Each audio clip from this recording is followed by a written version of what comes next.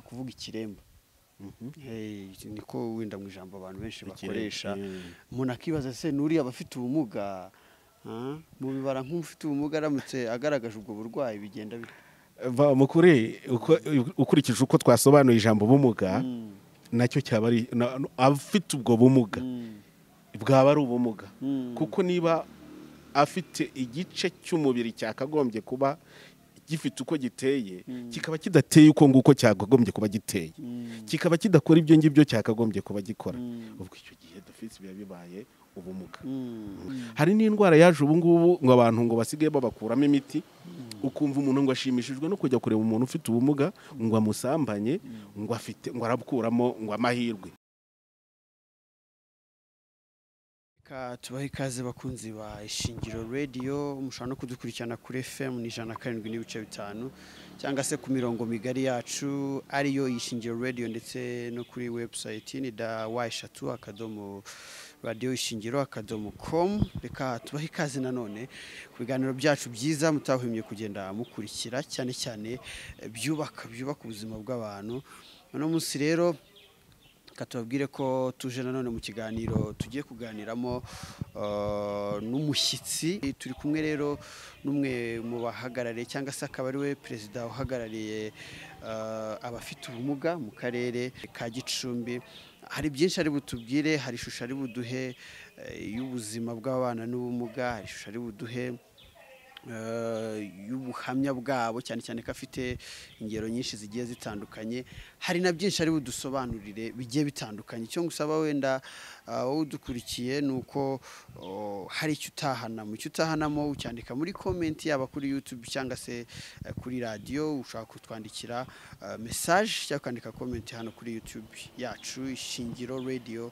Ubundi tukabona kubana mu kiganiro. Reka wenda dutangire tumwakira anatwibwira ku batamuzi kugira ngo dutangire ikiganiro cyacu mwiriwe. Mwiriwe neza. Mm, ngira ngo mwafata mikoro neza. Mm, turi kumwe na bande? Eh, njye nitwa rebera kurora boniface. Eh, ndi umuhuzabikorwa w'inama y'igihugu y'abantu bafite ubumuga mu karere ka gicumbi. Mm. Turi kumwe n'umuhuzabikorwa ni umuntu ukomeye uvuga rikijyana cyangwa se uvuga rikagera kure. Eh, muri rusange reka twatangira wenda uduha ishusho y'abafana n'ubumuga mu karere byifashe bite? Eh, cyane cyane ubuvugizi bwabo bigeze hehe? Rero icyo umuntu yavuga ah, kuri ibi bijyanye n'abafite ubumuga byonyine kuba ndi n'aha ngaha kuri radiyo ishingiro ni ikimenyetso gikomeye cy'uko hari ikintu cyagezweho Mm. Eh, ubu nanavuga ko kandi ni na byo mbamo no mu nama njyanama y'akarere ka gicumbi Mm. ni ho dukomeza tugakorera ubuvugizi eh, abantu bacu bafite ubumuga Mm. Eh, icyo rero tugihereyeho ni ikintu gifatika kandi gikomeye. Mm. reka tuvuge wenda kuri aba bagenzi bacu eh, bandi Mm. eh, bafite ubumuga. Mu by'ukuri hari byinshi byagiye bigerwaho kandi bagiye babifashwamo. Iyo ugiye kureba ugasanga bavuye mu bikari iyo ngiyo ubu ngubu bakaba babasha kugera hanze. Reka tuvuge wenda nko mu buryo bujyanye no kwiga. Hajya habamo amahugurwa menshi bariga baramenya Mm. ku buryo ubu ngubu byagiye bigaragarira buri wese ko umuntu ufite ubumuga ari kimwe ari umuntu nk'undi. Mm. ibikorwa barabikora. Ndaguha urugero nko mu karere ka gicumbi ikizwi kinafatika cyane kandi turimo gushyiramo imbaraga kuko kidufasha no gukora ubuvugizi bagenzi babo ndetse kigakora n'ubukangurambaga Mm. eh, n'ibintu bijyanye n'imyidagaduro. Yego. Ubu mu karere ka gicumbi ugiye kureba kiriya kibuga kiri mu gacurabwenge nanavuga ko mu rwanda ari cyo kibuga cya mbere cyageze mu rwanda bwa mbere Mm. ariko ukuntu cyanabonetse niba ariyo abana batangiye bakora imikino y'abafite ubumuga Mm. bayitangiye eh, bitarasobanuka neza ariko iryo shyaka bararigira kuko burya abantu bafite ubumuga ikintu tubaziho ni ishyaka ryo kugera kugi- kugira ikintu bageraho. Batangira bagowe eh, urumva kugira ngo bajye gukina nta muntu bazi nta uri bubakodeshereza imodoka nta uri bubashakira impamba ariko bariyaranjaga barwanagaho impamba bakayishakira bakagenda barinda bagera ubwo bo bikorera ubuvugizi bajya ahagaragara n'izi nzego zacu zitarubakika kugira ngo wenda zigenda zibafasha. Mm. aho zubakikiye rero zakoze ubuvugizi ubu ikipe irazwi mu karere. Iranakora ku buryo bugaragara. Mm. ne n'icyo nakubwira wenda nashakaga kugeraho Mm. ni ibintu bagiye bageraho ubwabo. Iyo mikino yabateje imbere. Ubu nakubwira ko ha- harimo abakobwa babiri baba mu ikipe y'igihugu. Ubu nko mu mikino y'ubushize eh, bagiye ba- bagiye guhagarara igihugu bavuyeho buri muntu yagiye afata muri miliyoni eshatu. Urumva umwana ufite ubumuga gufata miliyoni eshatu ni ikintu gikomeye iwe ni intangiriro ifatika. Mm. ikindi Mm. kuba umuntu ufite ubumuga wa wundi wabaga mu gikari yurira indege nakubwira ko muri karere ka gicumbi bakeya bavuga ko bakandagiye mu ndege. Ariko bo kugenda mu ndege babigize nk'uko umuntu atega kwasiteri agiye ahantu. Urumva ni cyo cyonyine cyo kuba hari abantu yatanze mu ndege yaritwaga wa wundi wo mu bikari yaritwaga wa wundi utagira aho agera ni ikintu gifatika aba bacu abantu bacu bafite ubumuga burya ntibazababeshye uburyo bwose bushoboka iyo urugingo rumwe rwangiritse afite ukuntu ateza imbere urundi. Eh, nk'ubu dufite umwana abana ba- barerewe muri ya santire yizere. Badafite amaboko. Akaba afite wenda ku maboko akaba yafite ariko akaba afiteho nk'agatoki kamwe. Ariko arandika. Yarize ararangiza ubu afite diporome ya imanite urumva rero nk'umuntu uba ugeze kuri urwo rwego n'ibindi byose yabikora. Turabafite bari n'aha ngaha batabona bize za kaminuza bararangiza. Mm. Eh, dufite umudamu ubu ngubu inaha ngaha yahoze ari umuporofeseri aza kugira ibyago. Mm. eh, amugara abapararize ama- amaguru yombi. Acika n'akaboko ariko ugeze iwe ukabona inkweto akora. Wakwibaza uko yabigenza kandi azidoda mu myenda. Urumva icyo ni ikintu kikwereka ko umuntu ufite ubumuga ni umuntu nk'uw'abandi iyo afite ubushobozi iyo abonye ubushobozi nawe akora ibintu bishobora kumurwanaho. Ubu ntibigutangaze nanjye ubu ngubu ubu ureba ko mfite akaboko kamwe. Ariko unshyize mu modoka ukareba ukuntu nyitwara. Byagutungura. Barabizi n'aha ngaha ndi mu karere ka gicumbi imodoka ndatwara nta kibazo. Abenshi banibaza niyo muhaye lifuti aravuga ati se urashyiramo vitesi uti? Ariko yajya kubona akabona yishyizemo. Nta nubwo ari ukuvuga ko wenda ngo natwaye ya yindi ya otomatike ariko ndayitwara. Byumvikana ko ufite ubumuga ni umuntu nk'undi kandi iyo uburyo bubonetse nawe yiteza imbere. Bo- ntabwo narangiza ntababwiye abandi bantu bafite ubumuga hariya muri kano karere ka gicumbi. Abantu bagera ku isoko hariya bazahagere bazahasanga koperative y'abantu bafite ubumuga. Abo bose bagendaga bava mu byaro ariko baravuga bati ubwo tumaze kubona amahugurwa meza cya reka twicare mu mujyi hano tuhakorere. Ubu hafite koperative ikomeye iboha ino mipira eh, y'abanyeshuri. Eh, uri- aba- ibigo by'amashuri byinshi za kageyo barazidodeye za cyuru barazidodeye za tiveti kibari barazidodeye baraziboheye ni ukuboha. Ibyo byose ni ibikorwa n'abantu bafite ubumuga. Uramureba rero uti uyu muntu uba yicaye mu kagare gutya yakora iki? Ariko arakora. Eh, ibyo rero nshatse kubabwira ko umuntu ufite ubumuga icyo dukwiye gukora twebwe wenda baba bareberera n'abandi bashoboye kuba baba- babafasha ni ukubafasha kugira ngo bagire ubushobozi gusa noneho umuntu ateza imbere ya mpano ye afite cyangwa bwa bumenyi bwe yahawe. Naho ubundi ni abakozi nk'abandi rwose nta kibazo bafite. N'iyo bagiye no mu kazi mu mabiro uba usanga ari abakozi bakora neza cyane. Arakoze ku- kuduha ishusho. Muri rusange cyane cyane ukomeje ku karere ka gicumbi n'abafite ubumuga barimo ibyo byose buri wese abonye ishusho. Hanyuma umuntu yakwibaza ati se umuntu ufite ubumuga ni ingeri zitandukanye ibice bigiye bitandukanye wenda mu- mushingiraho muvuga ko umuntu afite ubumuga kugeza kuri ubu ngubu niba uh, bihari mwatubwira ko mushingira ku cyuma bati umuntu afite ubumuga kuko ushobora gusanga urugero wenda ufite nk'ikibyimba cyangwa ubona ko mm, bi- bigenda bwite kugira ngo mukategorize umuntu ko afite ubumuga. Ubundi ubumuga ni ukubura urugingo Mm, cyangwa se ukagira urugingo rutabasha kuzuza ibyo rwagenewe. Mhm, icyo gihe ubu biba bibaye ubumuga iyo ari kwa kurwara bisanzwe ukaba wavurwa bigakira burya ntabwo byitwa ubumuga. Byitwa ubumuga iyo urwo rugingo rubuze cyangwa se iyo rutakaje ubushobozi rwagombaga kuba rukorera wa muntu. Icyo gihe byitwa ubumuga. Ni uko rero tubona abantu bafite ubumuga. Ubabonamo dufata urugero umuntu niba agomba kuvuga ukabona ntavuga. Ubwo icyo gihe byabaye ubumuga. Niba umuntu agomba kureba ukabona ntareba. Byitwa ubumuga. Niba umuntu yagombaga kugenda n'amaguru y'abiri ugasanga ntako afite kumwe cyangwa yo- yose yavuyeho. Byitwa ubumuga. Niba umuntu yagombaga kuba ari umwirabura ugasanga yabaye yagize rwa ruhu rumeze nk'urw'abazungu. Burya tubita abafite ubumuga bw'uruhu. Ni uko tugenda tubona ibi byiciro byabo no ukuntu uko umuntu yakwemeza ko umuntu yamugaye koko. Eh, urakoze cyane. Buriya ni ikibazo abantu benshi bibazaga kuko ushobora gusanga nk'umuntu eh, twihe nk'urugero wenda eh, sinzi ubwo mu kinyarwanda niba byemewe kuvuga ikiremba Hey, niko wenda mu ijambo abantu benshi bakoresha. umuntu akibaza se n'uriya abafite ubumuga ah, mubibara nk'ufite ubumuga aramutse agaragaje ubwo burwayi bigenda bite? Uko- ukurikije uko twasobanuye ijambo ubumuga Mm, na cyo cyaba ari abafite ubwo bumuga. Mm, bwaba ari ubumuga. Mm. kuko niba afite igice cy'umubiri cyakagombye kuba gifite uko giteye kikaba kidateye uko nguko cyakagombye kuba giteye. Kikaba kidakora ibyo ngibyo cyakagombye kuba gikora.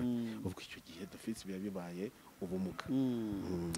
we ndumva dutangiye gusobanukirwa noneho turi kugendana hanyuma uh, hari ikibazo nshaka wenda ko tuza kuvugaho iminota mikeya wenda dusigaranye ikibazo cy'abana uh, bari munsi y'imyaka cumi n'umunani hari n'abayirengeje ariko bahohoterwa ugasanga umwana uh, arahohotewe kubera ikibazo cy'ubumuga afite wenda afite ubumuga bwo kutavuga ntashobora gukoresha amarenga afite ubumuga bwo kutumva afite ubumuga bwo kutagenda ariko ugasanga abantu baramuprofesa baramuhohoteye. Izo kesi ndabashaka kubanza kubabaza niba izo kesi muzigira hanyuma mutubwire eh, ese niba zihari mu- muzisobanura gute nk'umuntu oh, ese hari urwego wenda rushinzwe abashinzwe kwakira ibibazo by'abantu oh, batavuga bakoresha amarenga ese hari urwego rushinzwe kwakira ibibazo by'abantu oh, mu kominikasiyo uburyo mukominika n'abantu bafite ubumuga ngira ngo ndashaka mukivugeho.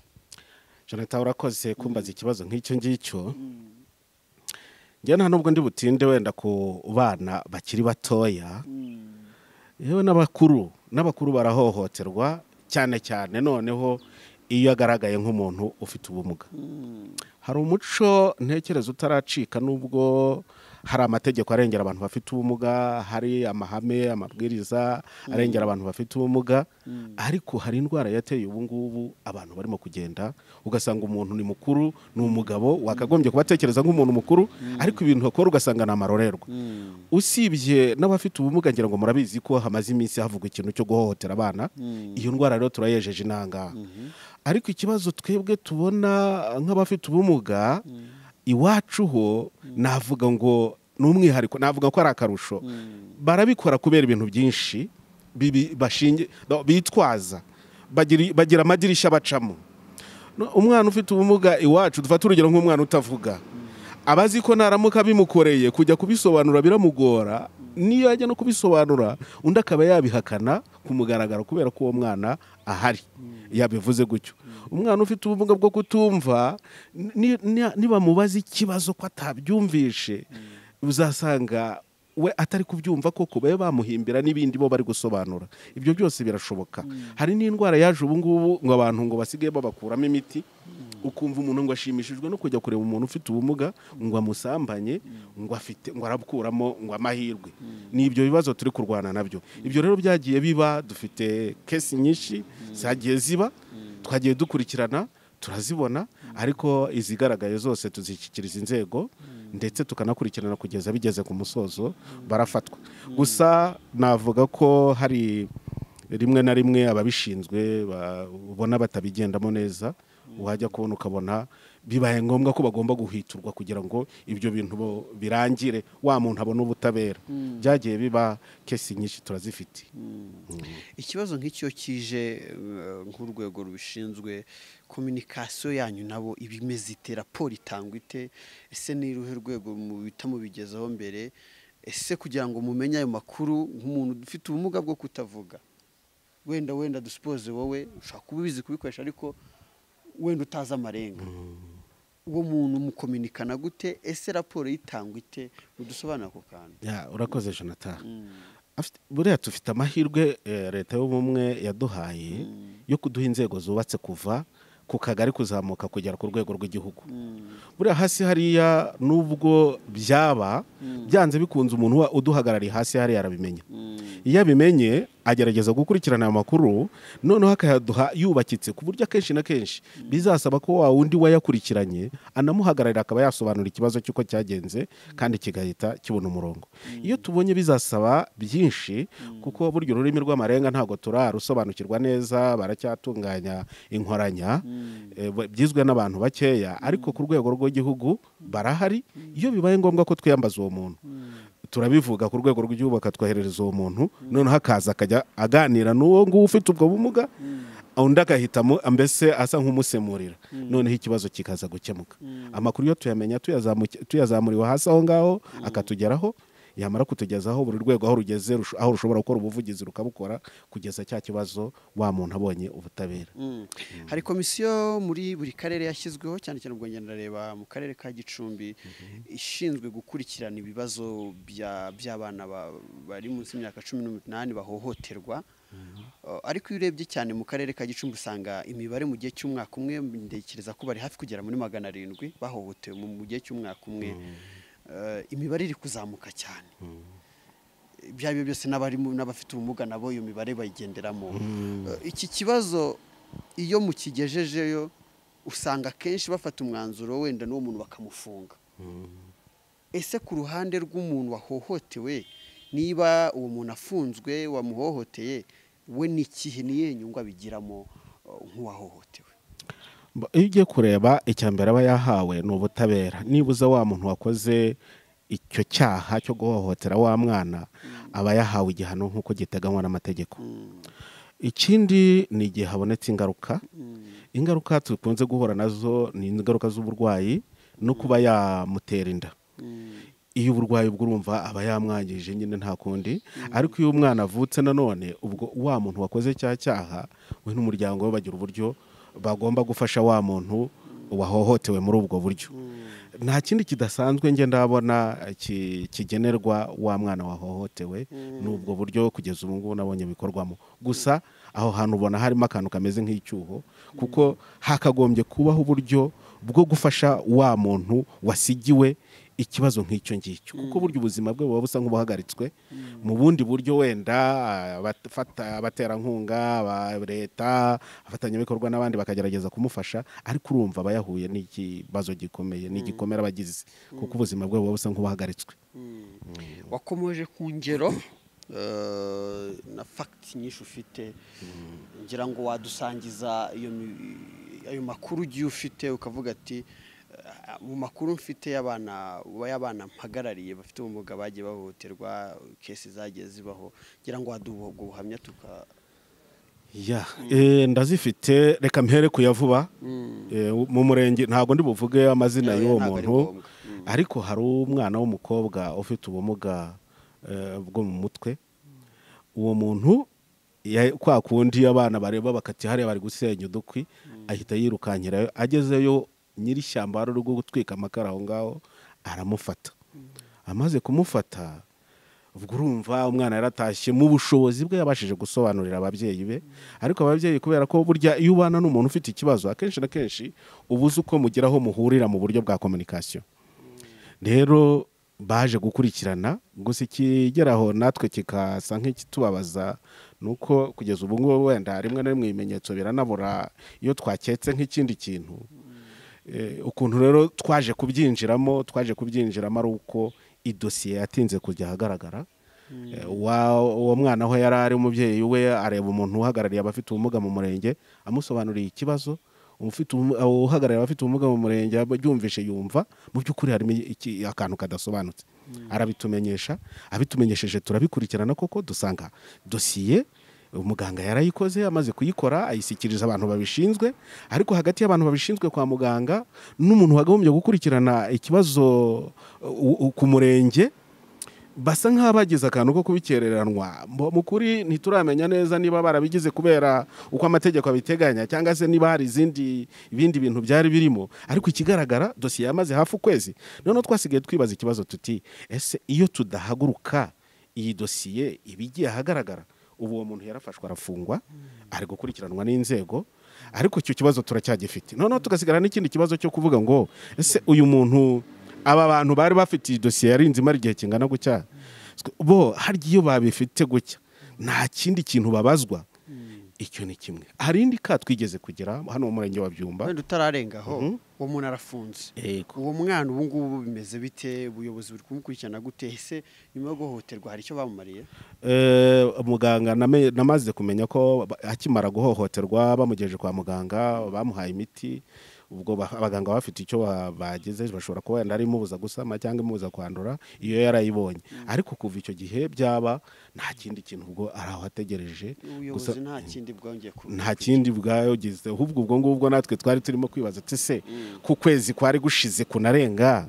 Kuki nta reakisiyo yindi yari yabaye? Aho ngaho rero ukwezi umuntu akamara ukwezi yarahohotewe dosiye ikibitse. Eh, ahubwo banabaza bakavuga ngo idosiye ntiraboneka. Idosiye ntiraboneka. Noneho tukanibaza harya mu bakurikirana ibi byo kwa muganga bibaho ko idosiye ishobora kumara ukwezi itaraboneka icyaha cyabaye ikaba ikiri kugira. Ariko amakuru twe twakurikiranye twamenye ko dogiteri yabikoreye igihe abigeza aho agomba kubigeza. Ni na yo mpamvu twibaza n'ibibazo nk'ibyo ngibyo. Aho ni ho byadindiye Eh, twibaza hari n'iyindi ka yigeze kuba hano ibyumba? Icyaha gikozwe n'umujyanama w'ubuzima? Mm. Icyaje kudutungura ni uko twaje kubimenya dosiye yageze no kuri parike tugera tu- dukurikirana kuri parike tugezeyo turabaza tuti ibi bintu bimeze bite? Ariko uwo muntu yari akibereye hanze ni ukuvuga ngo niyo ashaka kwigendera aba yarigendeye.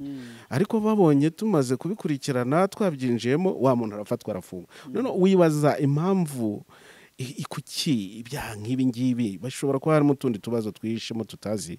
Kuki bikurikiranwa ari uko habonetse umuntu ugomba kubihagurukira? Ese tuzahora muri urwo ngurwo. Hari n'aho rero binakorwa eh, kuri aba bantu bacu bafite ubumuga n'ababyeyi bakagira imyumvire itari myiza aho bageraho bati muze twumvikane turangize ikibazo. Byarabaye ahantu muri rwamiko umwana wari uhohotewe bigaragara ngo ngo ko afite imyaka y'ubukure Mm. yari afite inyonjo. Mm.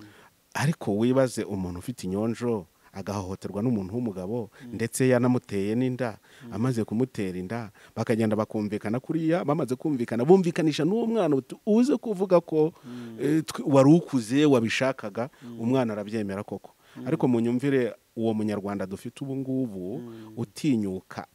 Agatera umwana nk'uwo nguwo inda ngo nuko yujuje imyaka y'ubukure azi neza ko afite inyonjo. Harya umuntu ufite inyonjo ubwo uwo mwana azamuhekera ku wuhe mugongo.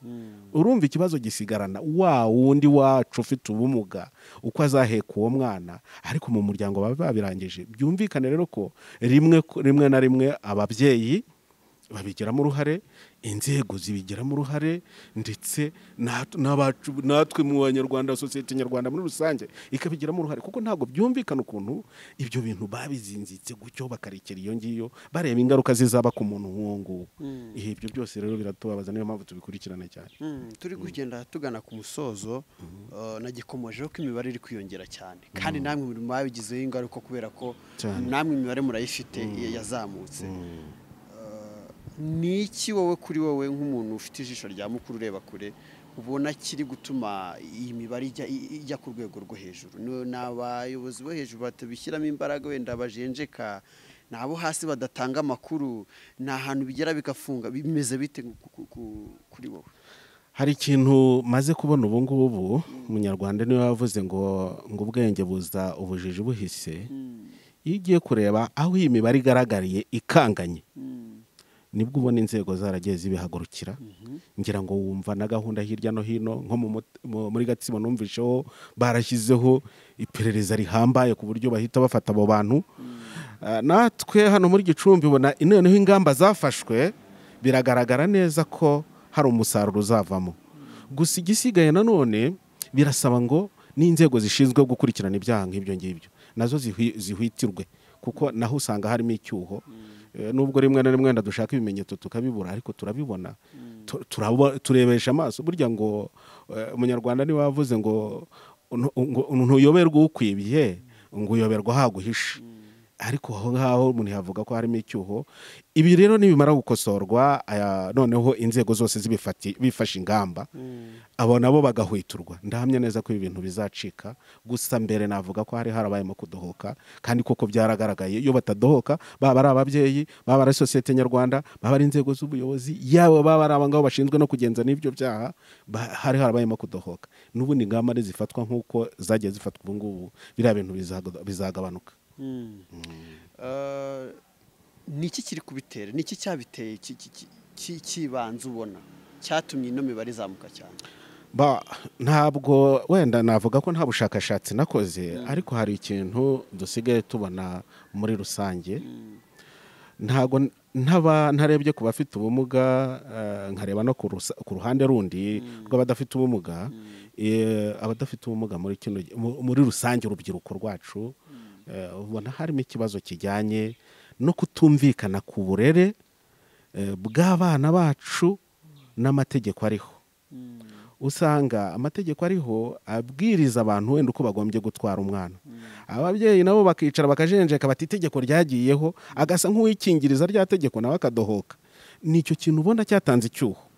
Ariko noneho ku bantu bacu aba bacu bafite ubumuga ibikura kubera iki? Bikura kubera iki? Ni ryapfobya ni ryatesha agaciro ry'umuntu ufite ubumuga. Kubera ko aravuga ati kiriya ni ntibatinya kubivuga baracyavuga ngo ni ikimuga. Ngo kiriya kimuga ngo kirimo umuti akaba yanagenda akayinjirira abantu akabikora yamara kubikora agashaka n'ubwo bufaranga akabutanga ku mpande ati "Mu- mu- mpishire bikaba byarangira gutyo. Noneho na ba bandi babyumva akavuga ati rwose ubundi wamugani koko kiriya kimuga kijye gufungisha umuntu. N'ubundi ko ari ikimuga ni iki? Reka turebe atwihere utwo ngutwo tuturiye ubundi turebe ukuntu tubizinzika. Nuko byagiye bigenda. Muri make umuntu yavuga ati hari ikibazo cy'imyumvire navuga wenda hari ijambo dukunda gukoresha interpretation. Na interpretation y'ababyeyi y'itegeko rigenga abana bakaryihisha inyuma ugasanga bashatse gukwepa uburere bwabo cyangwa inshingano zabo bafite mu burere ngo hari itegeko. Ugasanga ba bana baradohotse. Ikiwacu rero ni ukudutesha agaciro nta kindi. Bashingira kuri icyo ngicyo bakanyura muri izo nzira ugasanga ba bana barabahohoteye njye mbona ni cyo cyagiye kizamura imibare. Yes reka wenda dufate tugere kugane ku musozi w'ikiganiro cyacu ni ikiganiro twagiranaga eh, n'uhagarariye abafite ubumuga mu karere ka gicumbi yatubwiye ko ari muri komite nyobozi. Hanyuma ni byinshi yagarutseho cyane cyane agenda avuga ku bibazo bibugarije harimo ibibazo by'uko ibintu bya kese nk'izo ngizo za eh, zo ku- kuba abana bafatwa ku ngufu bidakurikiranwa cyane.